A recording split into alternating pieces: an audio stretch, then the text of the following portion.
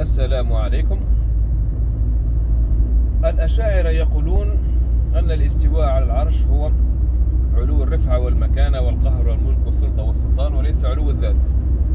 وفي نفس الوقت يعني يقولون أن أن الله ليس مستو على عرشه بل استوى في الماضي يعني فعل ماضي هذا يعني ولسان مقالهم وحالهم يقول أن الله يجري عليه الزمان لأنه قالوا استوى في الماضي.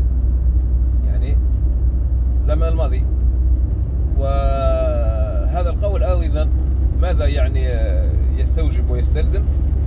يستوجب ويستلزم أن الله لم يعد عالي الرفعة والمكانة لأنه الآن ليس مستوٍ على عرشه بل استوى فقط في الماضي. أي يعني في الماضي كان عالي الرفعة والمكانة والقهر والملك والسلطان والآن ليس مستوٍ بما أنه ليس مستوى الآن أي أن الله سبحانه وتعالى عما يصفون ويقولون أنه لم يعد عالي الرفع والمكانة والقهر والملك والسلطان.